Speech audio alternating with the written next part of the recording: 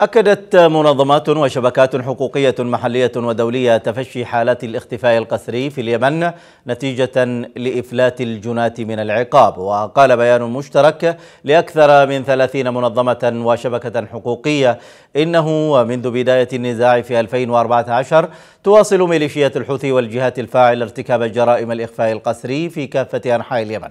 وأشار البيان إلى أن أطراف النزاع احتجزت مئات اليمنيين في مراكز احتجاز رسمية وغير رسمية حيث اختفى وعذب محتجزون وتوفي بعضهم أثناء الاحتجاز فيما لا يزال حق الضحايا وأسرهم في معرفة الحقيقة بشأن الانتهاكات الجسيمة لحقوق الإنسان جانبا مهملا من جوانب الصراع في اليمن. وشدد البيان على أهمية احترام جميع الأطراف لحقوق الإنسان والحريات الأساسية وفقا للقانون